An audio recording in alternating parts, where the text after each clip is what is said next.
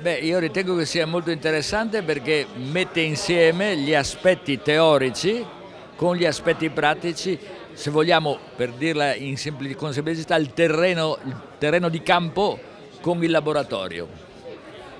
A livello organizzativo può lasciarci due parole? Eh, meglio di così è difficile, anche considerando la perfezione dei tempi, la perfezione del, di, di, degli inizi, del, dell'escansione delle, delle relazioni, tutto perfetto.